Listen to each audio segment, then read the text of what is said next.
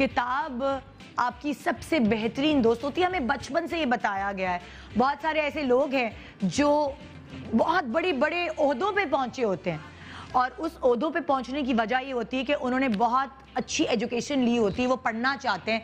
उन्होंने street lights में बैठ के पढ़ाइयाँ की होती हैं। वो अपनी अपनी सक्सेस स्टोरीज हमसे शेयर कर रहे होते हैं मुख्तलिफ़ स्टेजेस ऑफ़ लाइफ की।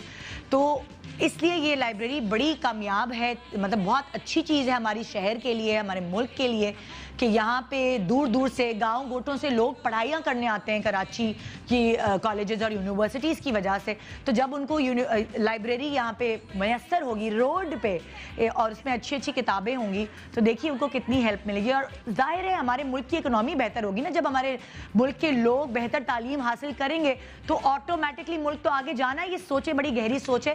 Thank you so much once again Iftar साहब, जो हमारे कमिश्नर हैं। उन्होंने सोचा हमारे शहर के लिए, और इसी तरह मैं रिक्वेस्ट करूँगी पूरे मुल्क में रहने वाले जो भी हमारे गवर्नमेंट ऑफिसर्स हैं, अगर वो इस तरह का स्टेप ले सकते हैं तो हम उनके साथ हैं। आइए मिलकर अपने मुल्क को आगे बढ़ाएँ।